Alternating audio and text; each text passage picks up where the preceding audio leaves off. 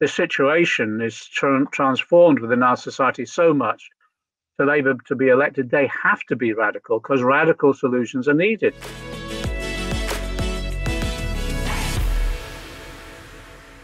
John, firstly, what a huge pleasure in these quiet, tranquil times. There's so little to talk about. this is a this is a relaxation, isn't it, from the fray?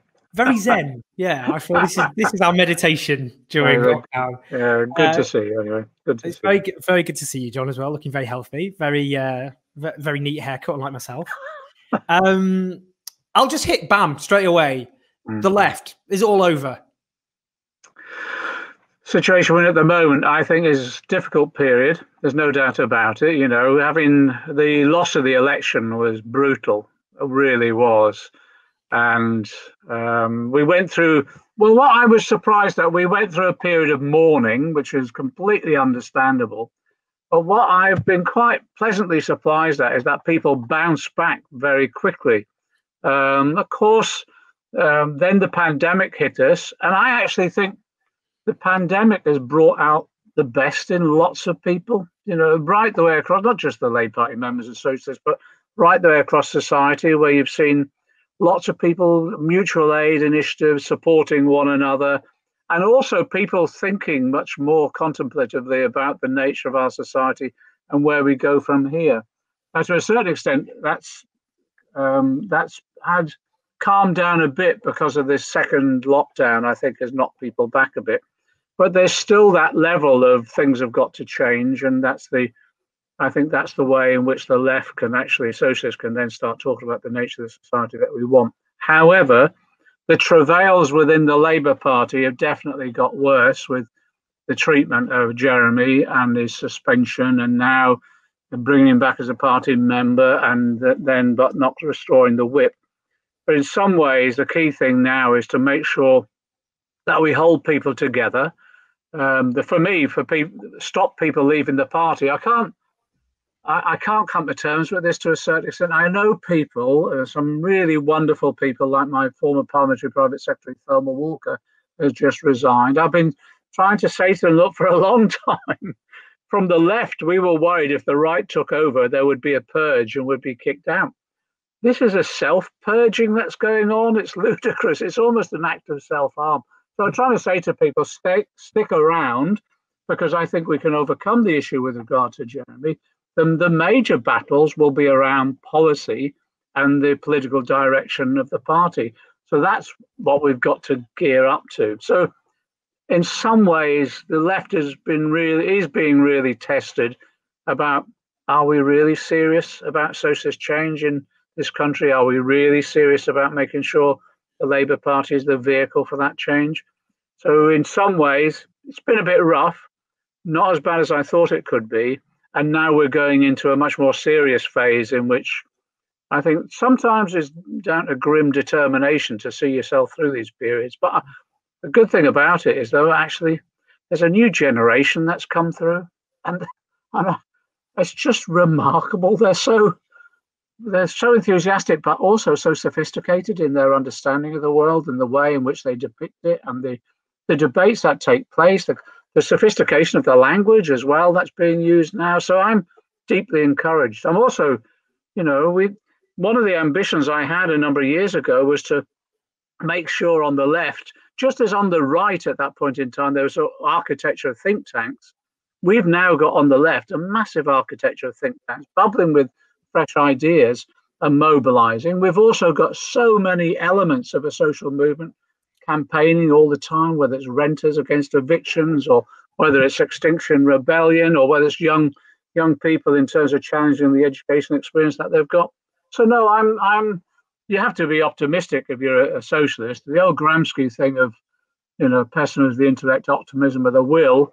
Um, I'm actually quite optimistic, both on terms of the intellect as well as um, of the will as well as determination. So it's a rough, difficult period, but I think we're going to come through it quite well. I think quite welded together.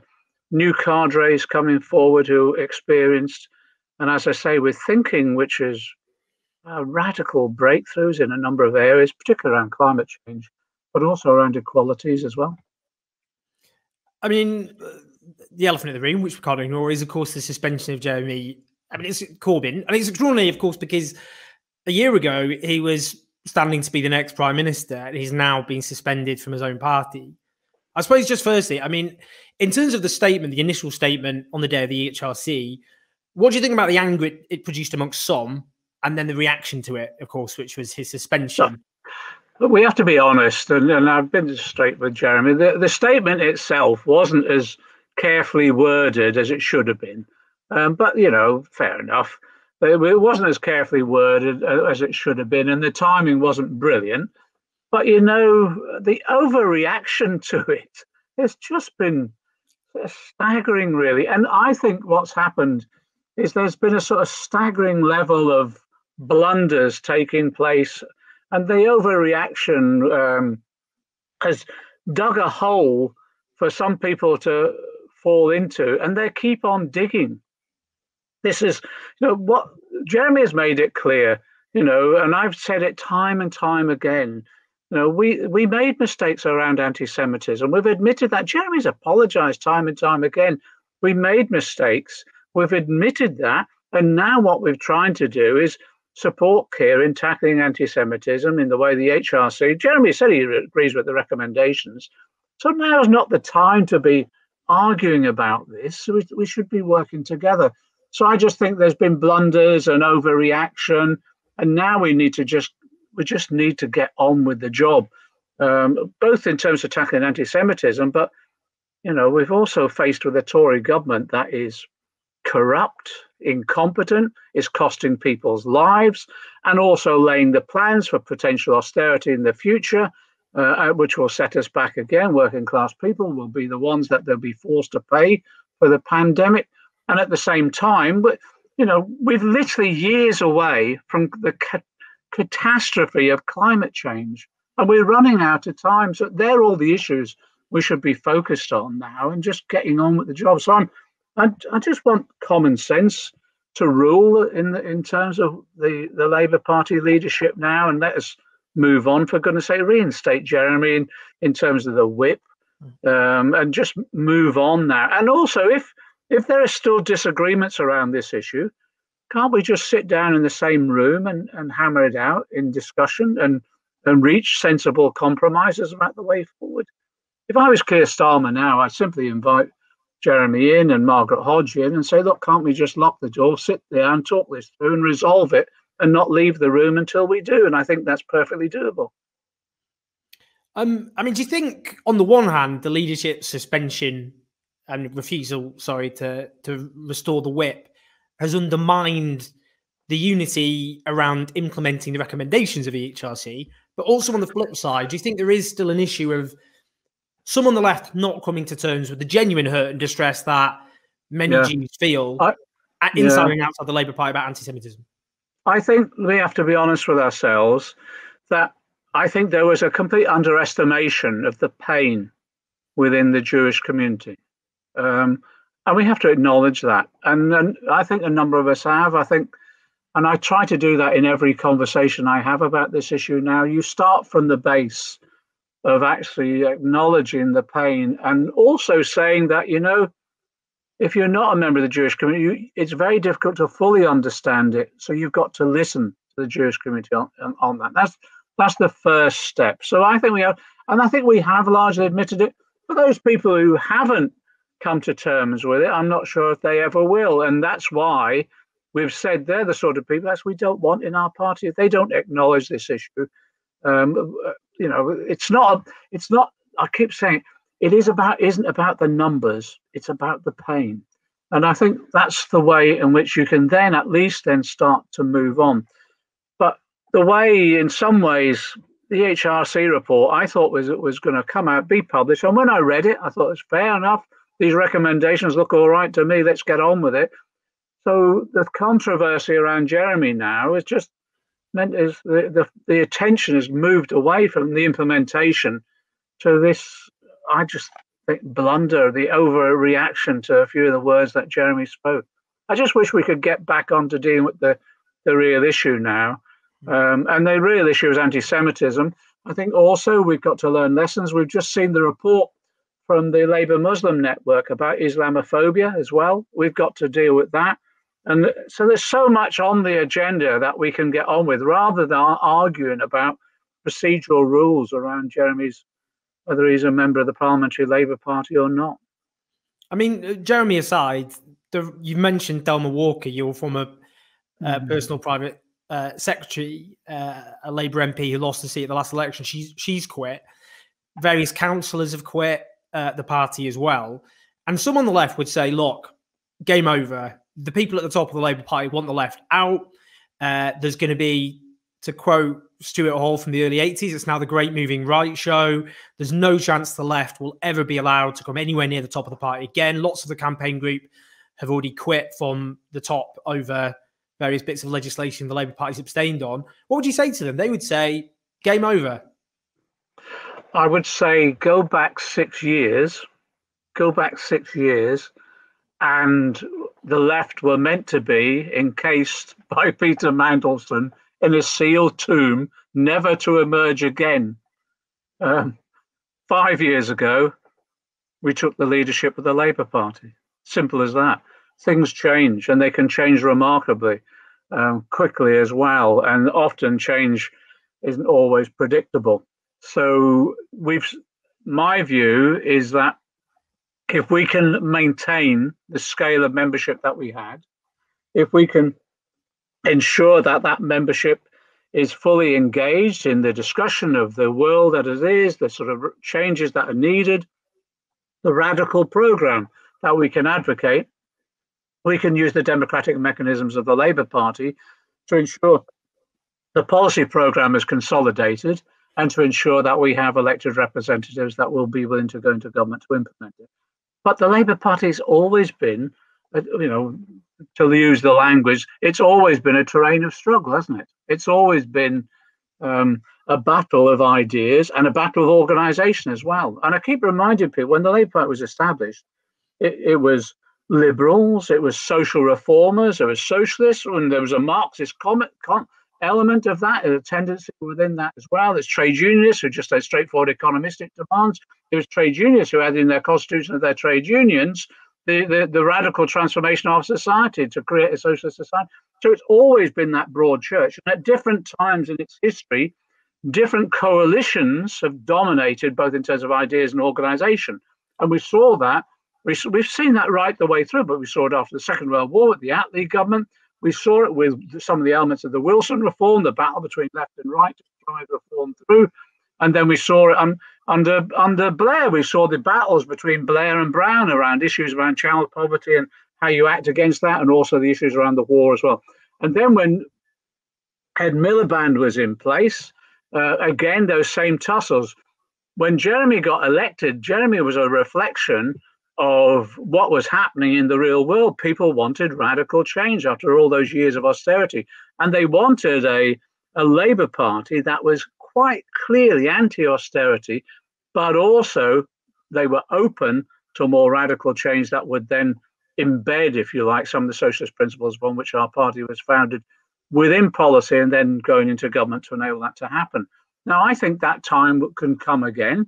I actually think the battle over ideas and policies over the over the next 18 months or so in the run up to the preparations for the next general election is going to be one of the key periods in the Labour Party's history. I actually think we can win that battle. I call it a battle, but you know what I mean. The debate. I think we can win that debate around the ideas, and I think actually, we if we ensure that we mobilize effectively and we ensure that people don't leave the party, but we use every device we possibly can to raise these issues, put forward our radical solutions. Actually, I think we can.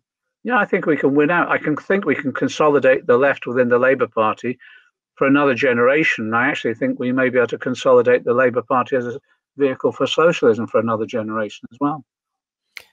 We we both voted for Rebecca Long Bailey, so we were on mm. the losing side.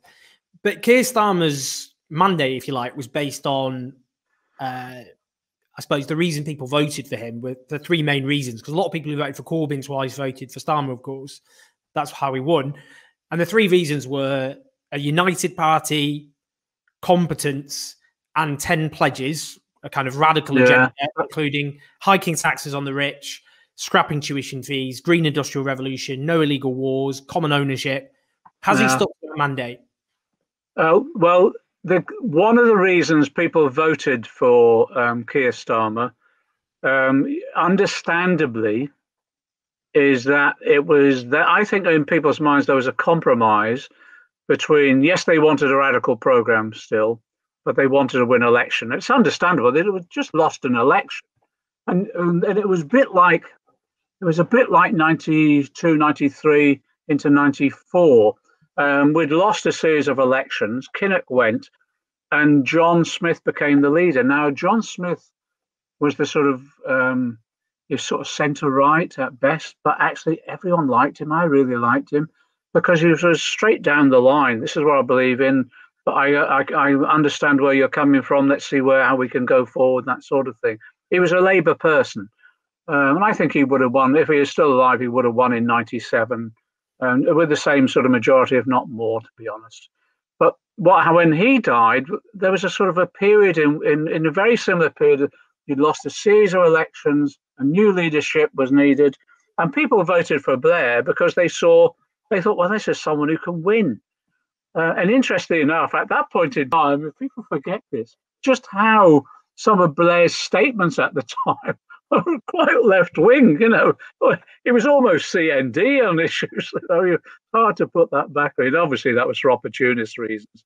But anyway, I think after the after we lost the election last year, people wanted a winner. That was it, and they saw Keir uh, as someone who could win the election. And there is a bit of um, that sort of traditional what, who can win an election in this country and what do they do? They choose a white man in a suit who's a lawyer. You know they think that's the sort of person that might be able to appeal to more people than a radical young young woman. I think that's completely wrong but that's in the psychology the psyche of some of our members unfortunately still. So therefore they vote for Keir. He argues he's the unity candidate etc which is fair enough and he commits himself to the program. The issue now is as we move forward into this coming period, is that commitment going to be translated into hard policy and then hard manifesto commitments? Interesting enough, from what I hear, and I, you know, I'm, you're peeping through keyholes and and um, letterboxes because I'm not a member of the shadow cabinet, but from what I hear in the shadow cabinet, um, some of the economic papers that have been brought forward, not by Anneliese Dodds, I think she's pretty radical, some of the economic papers that have been brought forward by officers, etc., have been thrown out and radicalized. And the debate has been going on that no matter what people thought a number of years ago, the situation is tra- transformed within our society so much. For Labour to be elected, they have to be radical because radical solutions are needed. And, you know, it's radical solutions as a result of 10 years of austerity radical solutions because the pandemic has acted like a pressure test on our economy and our politics. It's revealed all the weaknesses, the incompetences, the, the way in which the, the system isn't working for people and delivering on a whole range of fronts, and the need the sort of radical solutions that are needed. But in addition to that, you then have, my God, the existential threat of climate change and the sense of urgency building within society that if we don't tackle it, um, we've lost we've lost the planet basically. So I think that uh, even within the debate now, within Keir's shadow cabinet and elsewhere within the PLP, there's a recognition that actually you do need a radical policy program, and increasingly we've got to build upon that. And at the same time, we've got to hold them to account within the party. That's why leaving the party is such a mistake, because you then you lose all, the, you, you lose your say. You're no longer in the game. You're no longer even to, able to shout at them within a party meeting. You're outside the building. You lose the opportunity to hold them to account in terms of the way in which policy will be developed and then enacted in government. So I still think it's all to play for. I actually think the way in which um, the economy, the way in which the the politics of this country, um, reflecting what's happened after years of austerity and the pandemic, I think it's going our way. And it's interesting. The only way that the Tories think that they can survive is doing what they did in the general election, stealing some of our policies in in language, in, in expressions of policy, but not really either being committed to implementing them or implementing them on a scale that's needed to address the real issues in society and completely refusing to tackle the distribution of wealth and power in our society. So, no, I think it's all to play for. I actually think that also the left, as I say, we've got this architecture of think tanks, we've got this new generation coming through who are extremely articulate and sophisticated in the way in which they analyze things. I think that we've got the, the left that can win these arguments, can organize, and can develop them in a way which um, creates hegemony. It's the old Gramsci thing. It's creating a climate of opinion which is almost unstoppable. I think that's the potential we have now. I mean, if I know this may be a bit negative, but if the leadership doesn't commit to the 10 pledges or doesn't abide by the 10 pledges, what what then? What would you what what will happen in terms of the left and the leadership? It's a fight. Well, it's, it's, it's a fight within the party, isn't it? You know, it's a, a battle within the party. And so the left then, well, what we'll want is uproar, won't we? We'll want to say, look, you were elected on this platform. These are the policies that not, it isn't, this is real world stuff now as well. This isn't about, you know, fight one group fighting another within the Labour Party or whatever for fun. This is about the survival of the planet. This is about making sure everyone has a decent roof over their heads. This is about making sure people no longer have to uh, in a family, for example, we've seen so many examples of this where some parents aren't eating so their children can be fed. You know, we're we're talking about such fundamental issues now. It isn't a battle between who wins or loses in the party. This is a battle around some fundamentals. So we will be saying on in the party itself, these are the policies that are desperately needed by the whole of society, but these are the policies that are particularly needed by our class and therefore we will campaign for them within the party and we expect them to be delivered. And if there's any reneging on that, well, we'll want that debate. And as I say, I think it would be uproarious because people think these matters are so serious now. You know, I don't. I'm. I just come to it from my experience within my own community. You know, we've got a housing crisis like we've never seen before since the Second World War, and we've got overcrowding. We've got homelessness. We've got um, people who, you know, literally are working all hours God send just to pay the rent or the mortgage. You know, it's, it's just the situation we're in at the moment. The levels of child poverty, I never ever thought we'd see this again within our society. And we're seeing, as a result of that, I have to say now, particularly since the, the pandemic, we're seeing levels of stress and distress and mental health challenges um, go through the roof. Um, so this is a serious debate that we've got to win because it's more than just winning an argument within a political party. It's about it's about the very survival of our communities. Um, this week, I wrote a column about the Grenfell disaster, in which I approvingly quoted what you said uh, two and a half years ago, or three and a half years ago, uh, that it was social murder, the deaths of 72 people. And we've already heard at the inquiry uh, horrific evidence uh, um, about yeah. how avoidable it was and the, and the alleged role of, of, of, for example, the company that provided the cladding. But but what what I'm asking is, I mean, that in my view, you correctly describe that social murder. We're in the middle of a pandemic, the worst crisis since World War II, where the government delayed lockdown.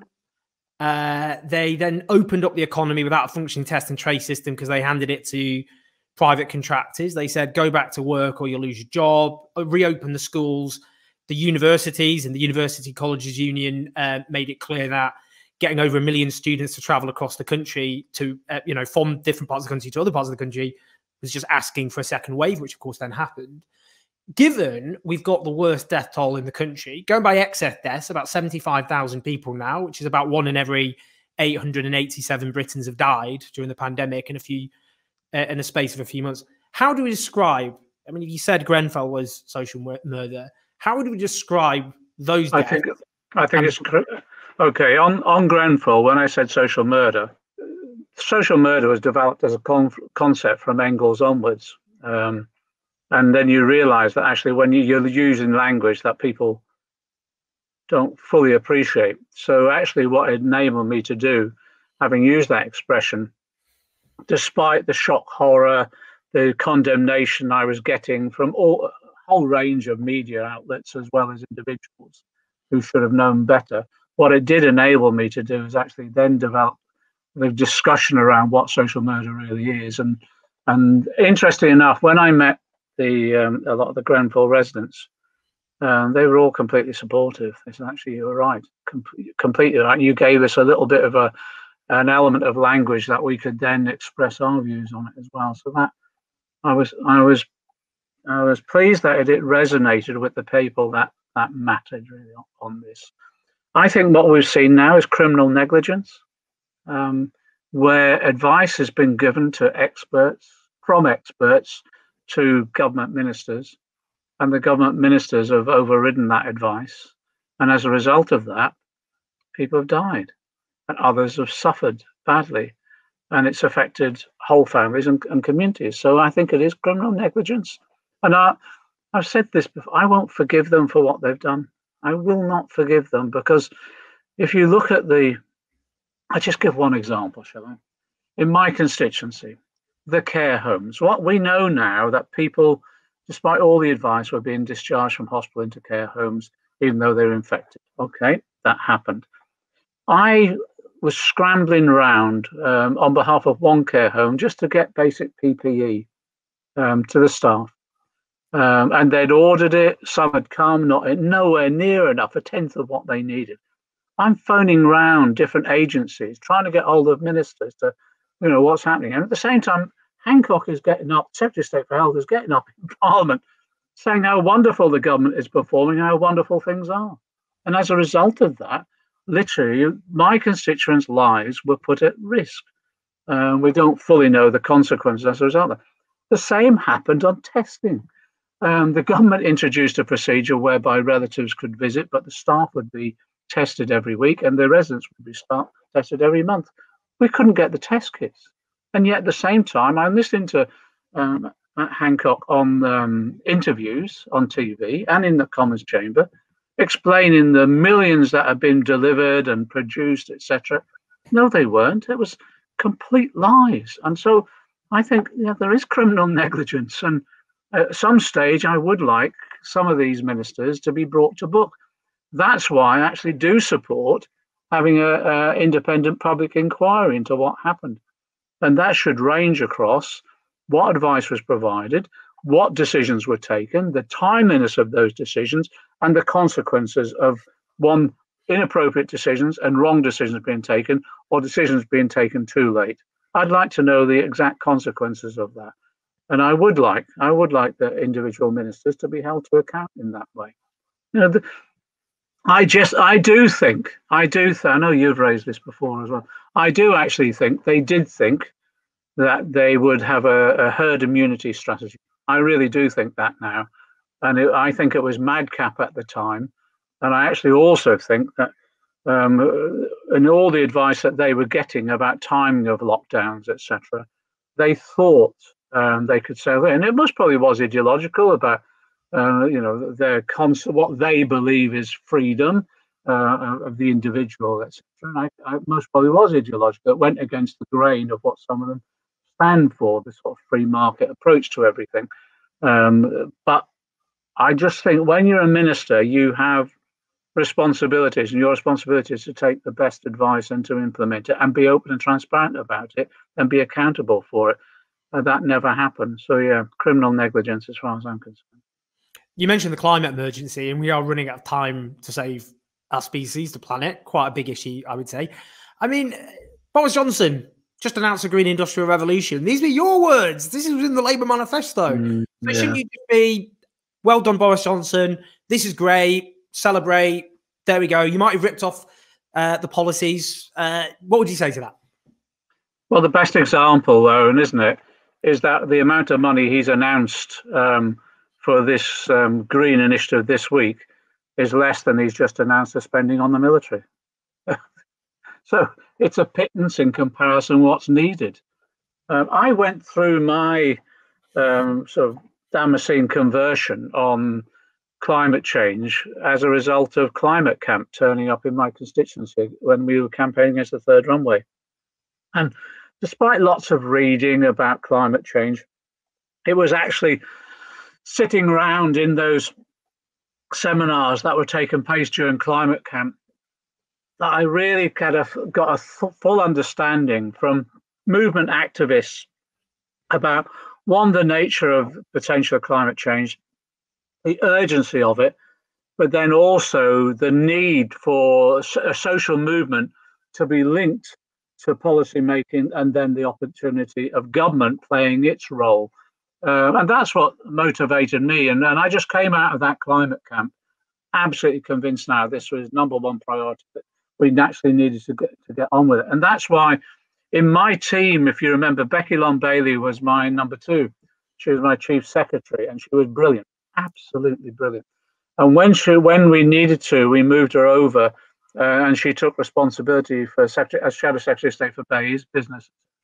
And her, her whole operation was all about how do we transform our our economy to tackle climate change. And some of the program, the advisory groups she set up were, were fantastic, a whole range of real expertise. I brought Extinction Rebellion into as well to to brief um, my treasury team and others and Becky's team too. And again, so I thought we were we were developing policies which were, I suppose you'd call them radical, but they were they were blindingly obvious. We, we just had to end fossil fuel dependency, full stop. Um, we had to prevent investment in fossil fuels. So not just preventing government investing, but also pre- preventing the private sector. And for me, for example, the simple thing of doing that is just, you know, in terms of the companies that were listed on the London Stock Exchange, they sign up to ending their, their subsidy or their investment in fossil fuels. And if they didn't, you didn't have them listed on the stock exchange. It was me who brought forward the the revision of the Bank of England ad, uh, advice that was given in terms of um, lending. In addition to that, I, I put together a team of ex civil servant, ex Treasury civil servants, and others to work through what we did with regard to the Treasury, how we could green the Treasury. And one of the things that um, Bob Kerslake, who was head of civil service before, was part of that team, and they came up with um, the Green Book. The Green Book well, it's not green, environmentally green, it's just color green, but it was the, the green book was the advice that was given by which um, individuals' projects or expenditure were assessed. So we immediately rewrote that and inserted into that that the number one priority was everything was assessed about whether or not it would create sustainability. Um, so that whole program um, was radical, but actually it was based upon really solid advice from experts in the field people who'd been in government to implement policies and how best to do it. And it was just common sense. It was just absolute common sense. So that program, if we'd have been in government from 2017, we would have been in our third year of implementation. And I actually think, you know, the 2050 target was never really a, pro, a real target um, because it was too late. I actually, you know, I was arguing you know, maybe we should be shooting for 2030, no later than 2040 and zero um, net zero carbon. So I actually think we most probably would have been there. Things like individual projects were ready to go. You know, in terms of alternative fuel sources, people used to pull my leg because I'm a scouser, but um, Stevie Rotheram wanted to build a barrage across the uh, Mersey to create wave power. It was just ready to go. It just needed a couple of billion to get on with it and it would have been the model that we could have used right the way around the coast as well. And I even had the well, Becky did it actually. Becky did the work, and we had the sites that we would have for the battery production that was needed in in this country, and we literally knew where we were going to put them and what the cost would be, the skills that were needed, and we had the skills training program. Becky did the work about the nature of the skills program, so it was all ready to go. It was it was like I, I, compared it to the sort of Marshall Aid program after the Second World War, a bulk of money going into it, but extremely well planned, and and over a period of time would have transformed our economy. What we get now is um, a minuscule in terms of program that Boris Johnson had brought forward. It's all well and good to get the headlines, but it doesn't really. It just scrapes the surface of tackling the, climate change in a way that needs to be done effectively infuriating, really, because we could be so much further on. But more than that, it's maddening because it's it's putting our it's putting our climate at risk.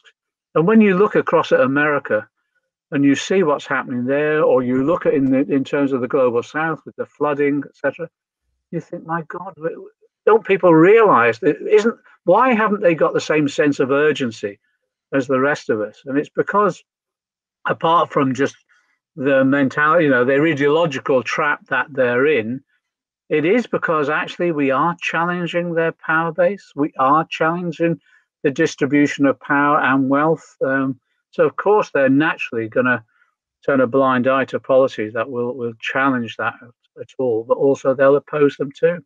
They're so linked to the existing system, and that existing system is so linked to, uh, um, well, basically uh, the undermining of our planet and the ripping out of the resources and raw materials of our planet that they can't break from it.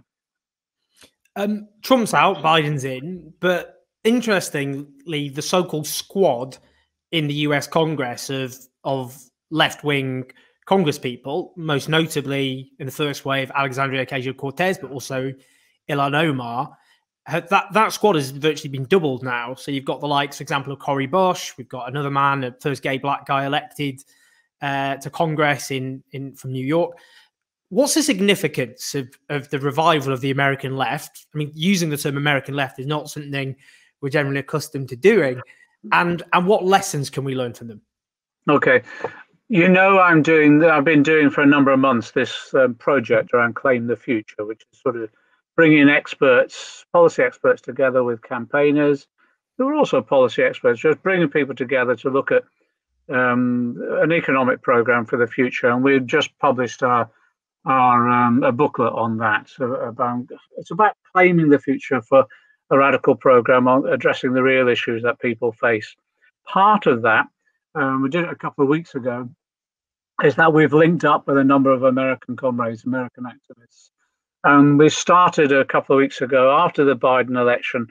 Uh, we had Naomi Klein leading on it, but we had a number of people linked, linked to Jacobin, linked to the Democratic Socialists of America and other groups to talk through issues of common concern, issues that we have to address together, and then learning lessons about how we develop our ideas, but as importantly, how do we organize on the ground. You know, the Labour Party has always said we're an internationalist party, but we're an internationalist party that rarely talks to people from other countries. And the link between the American left and the UK left, and this is self criticism here, is, has not been strong and developed in the way it should have been. So the idea now is that we're bringing activists together to talk to one another from the US and UK about those common issues and common campaigns. And then maybe develop that into much more of a structured network that we can go forward on in the future. The lesson so far for me um, is that you know Biden uh, Biden could have been a potential disaster disastrous election. You know the scale of support for Trump demonstrates just uh, how you can create uh, false consciousness amongst working the working class at the moment in America uh, as a result of the control of the media, etc., and the information flow. But what Biden came, you know, despite everything that was said in the polls about his lead, he came very close to losing it in individual states. And it was only in, you know, places like Pennsylvania where he pulled it off, or on the ground in particular areas, on the organization of the left. And what I was amazed at, and the, the, our left comrades are telling us, is Biden didn't even replicate the, the organization on the ground that Obama had. And then, if it wasn't for the, the left activists, socialists, and uh, active trade unions working on the ground in a number of states, he would have lost. So the lesson there is actually this is about movement politics, uh, and it's about building the political movement as a real, genuine social movement, addressing the issues, day-to-day issues that people are facing, but also then lifting their their views to a vision of an alternative society. So they're the sort of lessons that that we need to learn. In terms of political representation as well, you know, the, there's a recognition of the left in America that, yeah, you can have social movements, you can have campaigns around individual issues, but actually, you've got to have alongside that the challenging for electoral positions as well. And so, that, again, uh, sometimes in the left in Britain, they said, oh, I'm fed up with Labour, I'll go and do something on an individual campaign. The argument is actually you do both. You've got to engage in that social movement development, and then that social movement you need to ensure engages with electoral politics as well. And I think that's what's happened over there. The, the one thing that let me just throw this in. It might be tangential, Owen. I'm sorry about this, but one of the projects I, I want to get involved in now, and uh, working with Madeleine Williams, who uh, was my chief of staff, the discussion we're having is about how do you develop a narrative and how do you effectively communicate that? And what are the resources you need and what are the platforms that are available to us? And how can we bring together networks of people who can develop narratives and can effectively communicate with them? There's such there's such huge talent out there at the moment working in a whole range of different fields and it isn't just uh, mainstream media or social media it's also cultural engagement as well now, I think, you know, we developed, well, you were involved in this anyway, we developed up until 2017 new ways of communicating. We reinstated word of mouth with all our rallies and whatever under Jeremy. We also um, dominated, I think, uh, political debate on social media after 2017.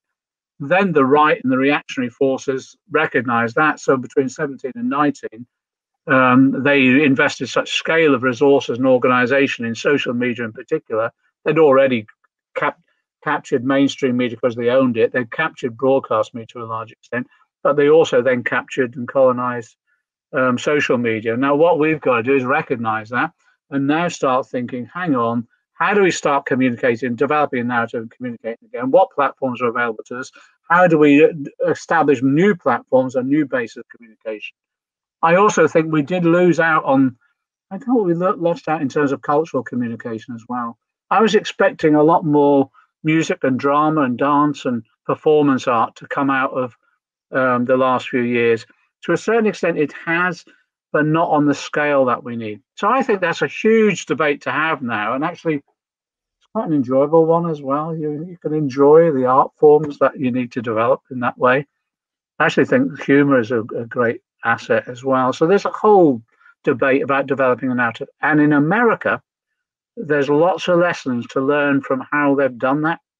You know, OAC statements and videos and films and all the rest of it communicate an idea like that, and you work, you walk away from it and think, "Why did that's so simple a concept? Why didn't I think of that?" And then it lands with you. So there's lots of, I think, lots of talented initiatives that we we can link up with with our American comrades. Um, getting rid of Trump is such a huge break. Well, he hasn't gone yet. Um, you never know what's going. You never know what's going to happen. But winning that election to get rid of him was such a huge breakthrough. We all breathed a sigh of relief. But then, in talking to people like Naomi Klein and others, they said, "Fine, breathe a sigh of relief, but recognise what we've got on our hands now." And what they've got on our hands, it's more difficult for them to a certain extent, is the Democratic Party and the Biden administration. Bernie Bernie Sanders is obviously trying to do the best he can to accommodate to that and influence as much as possible. But I think there'll be as many struggles within the, the left and Democrat Party um, and the wider left within America as there are in this in our party here about making sure that the electoral leadership represents both the arguments that are being put forward, but also the policies that are really needed for radical change. So we're in a very similar position overall. So, so lastly, John, lastly, uh, in terms of you, how do you see your role in the coming months, years ahead? I say that in the context. Let's be honest. Look, the left knows how to have a barney with itself, and not only is the left in a bit of a defensive posture, it's got divisions on past issues like Brexit. It's got divisions on anti-Semitism in terms of how to confront it. It's got divisions over its the relationship with the Labour leadership. How do you see your role in the coming period in terms of maybe trying to bridge some of those divides? And what would your your advice be to potentially warring factions of the left? What's my role? My role at the moment is to be blamed for everything. But there you are. I don't. I don't mind. I don't mind that. You have to use the punch bag. no, I don't mind that. I think sometimes you just, you know, you just have to ride, ride with the punches, don't you? Really. Um, I after the loss of the general election, um, and I said, and I wasn't joking. I said, I'm going to be an elder statesman now. I want to assume the role of an elder statesman who can um, draw upon um, experience, provide advice and assistance as much as possible, but also listen to people and bring people together, network them, bring coalitions together on the left, um, work, work, on individual campaigns, but then put together uh, those individual campaigns as much as possible to develop an overall approach and an overall political program. So that's my role now. Um, and also do what I've always done is I'm an activist. You know, that there's lots of people. Uh, I used to say, you know, lots of left MPs would tour around the country doing speeches on platforms and all the rest of it. And, and halfway through the, uh, last period, I said, I'm not doing that anymore. It's, I don't do stand up anymore. I don't go along, just do the stand up speech and off you go, nothing comes of it. What we've got to do now is, by all means, the oratory is important. That the most important element of it is take that oratory and the ideas and turn them into practice on the ground. So that the work, the route, I, I have a great admiration for people. They're unsung heroes, really, who do the routine work as well as engage in the debates and discussions. So part of my role now, I see, is getting involved in as many activist campaigns as I possibly can.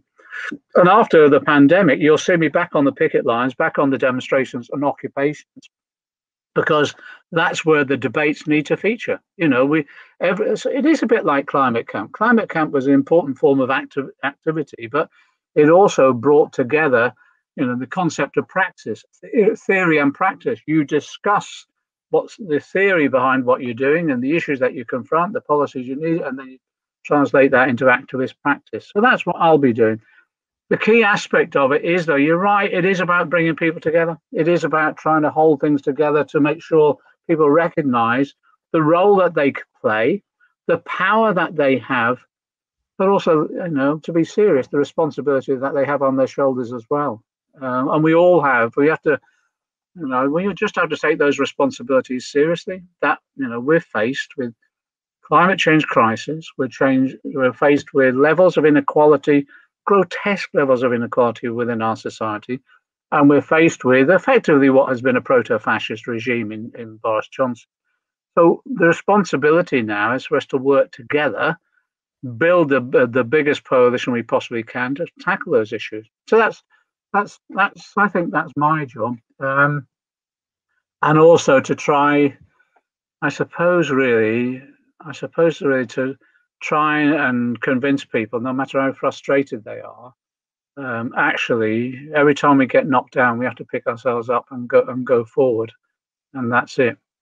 And actually, in doing that, you know, you only have a short life. Bloody well enjoy it. You know, let's enjoy this struggle. Let's not, you know, we we're winning. We're winning the battle of ideas. We're we're winning. We made, you know, we lost the last general election, but blimey, within months we had picked ourselves up and we were back on the campaign trail again.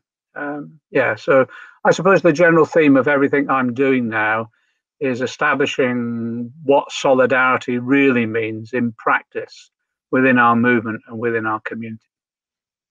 John, I actually feel pretty cheered up. I was going to, before this conversation, just sit in the corner rocking in the fetal position. But now I feel a little bit more lifted. Maybe it'll all be okay. We'll all live happily ever after. It'll all be fine. I still will always be haunted. I remember poor, you know, Ash Sarkar, a very close friend of mine.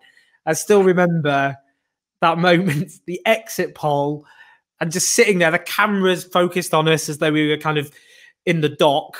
Uh, and you just, it was that moment of just feeling like you're just falling into the abyss. All hope is gone but you remind us that we have clawed our way back the left, but there's there's a there's a way to go, but there, there is always hope. Don't knock the fetal position every now and again, though. some wisdom and also some optimism there from John McDonnell, which I think is much needed in these unsettling, disturbing, and often, let's be honest, quite bleak times. I'd love to hear your thoughts, so do leave your comments below the line. Now, if you want us to keep making these videos, and we've got a lot of videos to come, then you can do one or two things, or both. Uh, firstly, if you've got any cash lying around, Patreon slash Owen Jones 84, that enables this to expand to keep hiring and paying people union wages to take on the right wing media during this nightmare of an era in which we live. And also go to the YouTube main page, on my page that is, click the bell to uh, get notifications so you always know when a video comes up. We've got a lot to come from Piers Morgan to Yanis Varoufakis. So don't say I'm not spoiling you. Also, of course, every week, 5 p.m., the show. We've got very eclectic guests this week. We're going to make, particularly as lockdown permits, some absolutely epic videos, which I think you're going to like very much. I'll see you next time.